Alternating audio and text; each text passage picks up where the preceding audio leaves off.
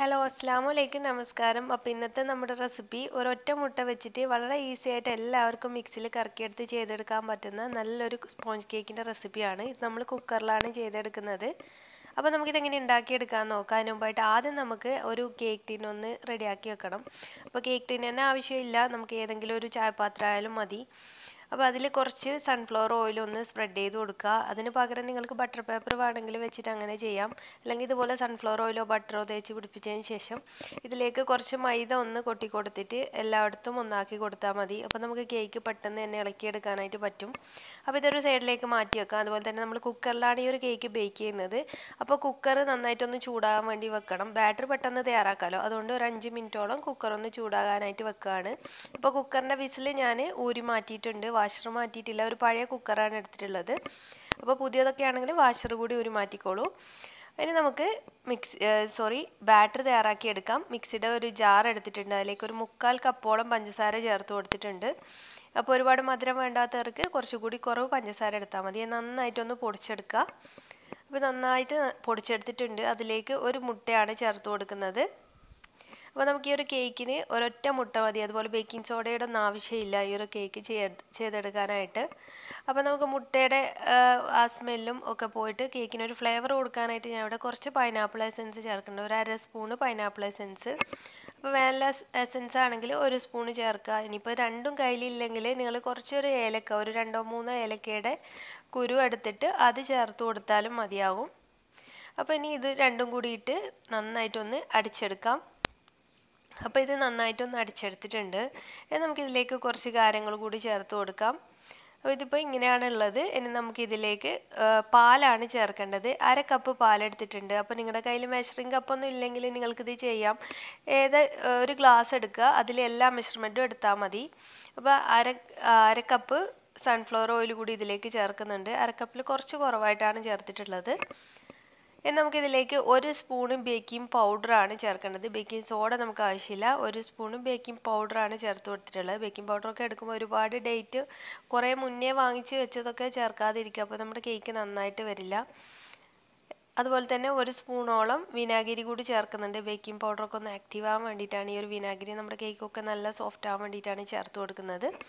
നമുക്കിതേ മധുരമൊക്കെ ഒന്ന് ബാലൻസ് ആവാൻ വേണ്ടിയിട്ട് കുറച്ച് ഉപ്പ് രണ്ടോ മൂന്നോ നുള്ളു ഉപ്പ് കൂടി ചേർത്ത് കൊടുത്തിട്ടുണ്ടായിരുന്നു. എന്നിട്ട് ഒന്നുകൂടി അടിച്ചെടുക്കുന്നുണ്ട്. ഇതിപ്പം നന്നായിട്ട് അടിച്ചെടുത്തിട്ടുണ്ട്. നമുക്കിതിലേക്ക് മൈദമാവാണ് ഇട്ട് കൊടുക്കേണ്ടത്. ഞാനിവിടെ ഒരു കപ്പ് മൈദമാവ് അരിച്ചെടുത്ത മൈദമാവാണെങ്കിൽ അത്രയും നല്ലതാണ്.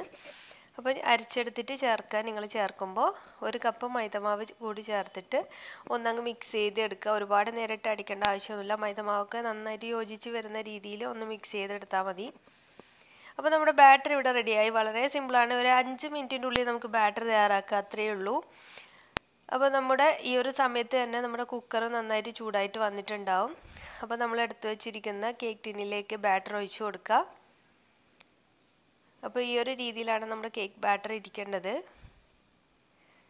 അപ്പോൾ ബാറ്ററൊക്കെ സെറ്റായി വന്നു. അതുപോലെ കുക്കർ നന്നായിട്ട് ചൂടായിട്ട് വന്നിട്ടുണ്ടാവും. അപ്പോൾ നിങ്ങൾ കുക്കറിൽ തന്നെ ബേക്ക് ചെയ്യണമെന്നില്ല. നിങ്ങൾ സാധാരണ ഓവണിൽ ചെയ്യുന്നവരാണെങ്കിൽ വൺ എയ്റ്റി ഡിഗ്രിയിൽ ഒരു മുപ്പത് മുപ്പത്തഞ്ച് മിനിറ്റിനുള്ളിൽ ഇത് ബേക്കായിട്ട് വരും. അപ്പോൾ ഞാനിവിടെ സിക്സ് ഇഞ്ചിന്റെ പാൻ ആയതുകൊണ്ട് കുറച്ചൊന്ന് സമയം കൂടുതലായിട്ട് എടുത്തിട്ടുണ്ട് ബേക്കായി വരാനായിട്ട്. അപ്പം നിങ്ങൾ ചെയ്യുമ്പോൾ ഒരു എയ്റ്റ് ഇഞ്ചിന്റെ ഒക്കെ ആണെങ്കിൽ കുറച്ച് കുറവ് ഇത് ഇത്രയും സമയം ആവശ്യമായിട്ട് വരില്ല. ഞാനിപ്പോൾ ബാറ്ററി വെച്ചിട്ട് ആദ്യം ഒരു അഞ്ച് മിനിറ്റോളം മീഡിയം ഫ്ലെയിമിലാണ് വെച്ച് കൊടുത്തത്. പിന്നെ ഒരു നാൽപ്പത് മിനിറ്റ് ലോ ഫ്ലെയിമിൽ കൂടി ബേക്കാക്കിയപ്പോഴാണ് കേക്ക് റെഡി ആയിട്ട് വന്നിട്ടുണ്ടായിരുന്നത്. അപ്പോൾ ഞാൻ സിക്സ് ഇഞ്ചിന്റെ പേലായതുകൊണ്ട് തന്നെ കേക്കിന്റെ മുകളിൽ ഇതുപോലെ ക്രാക്ക് വന്നിട്ടുണ്ടായിരുന്നു. അപ്പോൾ നിങ്ങൾ എടുക്കുമ്പോൾ കുറച്ചുകൂടി വലിയ ടിൻ എടുത്താലും മതി.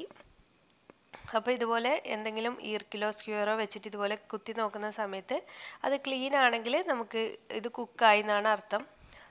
ഇടയ്ക്കിടയ്ക്ക് തുറന്ന് നോക്കാതെ ഒരു അരമണിക്കൂറിനൊക്കെ ശേഷം നിങ്ങളൊന്ന് ജസ്റ്റ് തുറന്ന് നോക്കിയാൽ മതി. അപ്പോൾ നമ്മുടെ കേക്ക് പെർഫെക്റ്റ് ആയിട്ട് ബേക്ക് ആയിട്ട് വന്നിട്ടുണ്ട്. അപ്പോൾ ഇത് തണുത്തതിന് ശേഷം നമുക്ക് ഡിമോൾഡ് ചെയ്തെടുക്കാം. ഡിമോൾഡ് ചെയ്തെടുക്കാനൊക്കെ വളരെ സിമ്പിളാണ് നമ്മൾ അതുപോലെ ചെയ്തതുകൊണ്ട്. ഫസ്റ്റിൽ നമ്മൾ ഓയിൽ സ്പ്രെഡ് ചെയ്ത് മൈദപ്പൊടി ഇട്ടല്ലോ. അതുകൊണ്ട് തന്നെ പെട്ടെന്ന് നമുക്ക് ഇളക്കിയെടുക്കാനായിട്ട് പറ്റും. കണ്ടില്ലേ? അപ്പോൾ നമ്മുടെ കേക്ക് നല്ല സൂപ്പർ സോഫ്റ്റ് ആയിട്ട് വന്നിട്ടുണ്ട്. അതുപോലെ നല്ലൊരു ടേസ്റ്റാണ് ഈ ഒരു കേക്ക്. മുട്ടയുടെ ടേസ്റ്റൊക്കെ ഒരുപാട് ഇഷ്ടമില്ലാത്തവർക്ക് വളരെ ഇഷ്ടപ്പെടുന്ന ഒരു കേക്ക് റെസിപ്പിയാണ് അപ്പോൾ എല്ലാവരും ഒന്ന് ട്രൈ ചെയ്ത് നോക്കുക അപ്പോൾ മുന്നേ ഒരുപാട് കേക്ക് റെസിപ്പീസൊക്കെ അപ്ലോഡ് ചെയ്തിട്ടുണ്ട്. അതൊക്കെ കാണാത്തിട്ടുണ്ടെങ്കിൽ ഒന്ന് പോയി കണ്ടു നോക്കുക. അതുപോലെ ചാനൽ ഇതുവരെ സബ്സ്ക്രൈബ് ചെയ്തിട്ടില്ലെങ്കിൽ നിങ്ങൾക്ക് എന്റെ വീഡിയോസൊക്കെ ഇഷ്ടമാണെങ്കിൽ ഒന്ന് സബ്സ്ക്രൈബ് ചെയ്ത് സപ്പോർട്ട് ചെയ്യണേ. ചാനലിന്റെ താഴെ സബ്സ്ക്രൈബ് എന്ന ചുവന്ന ബട്ടൺ കാണാം. അതൊന്ന് ക്ലിക്ക് ചെയ്യുക. അന്നേരം വരുന്ന ഓൾ എന്ന ഓപ്ഷൻ മൂന്ന് ഓപ്ഷൻസ് കാണാം ബെൽ ബട്ടണിൽ അതിൽ ഓൾ എന്ന ഓപ്ഷൻ ക്ലിക്ക് ചെയ്താലാണ് ഞാൻ അപ്ലോഡ് ചെയ്യുന്ന എല്ലാ വീഡിയോസിന്റെയും നോട്ടിഫിക്കേഷൻ നിങ്ങൾക്ക് വന്നിട്ട് അത് കാണാനായിട്ട് സാധിക്കൂ. അപ്പോൾ നമ്മുടെ കേക്ക് ഇവിടെ റെഡി ആയിട്ടുണ്ട്. കണ്ടില്ലേ? നല്ല സോഫ്റ്റ് ആണ്. അപ്പോൾ അതുപോലെ തന്നെ നല്ല ടേസ്റ്റിയാണ് എല്ലാവരും ഒന്ന് ട്രൈ ചെയ്ത് നോക്കി. ഫീഡ്ബാക്കൊക്കെ അറിയിക്കുക. പിന്നെ മറ്റൊരു നല്ല വീഡിയോ ആയിട്ട് വരുമ്പോഴേക്കും. താങ്ക്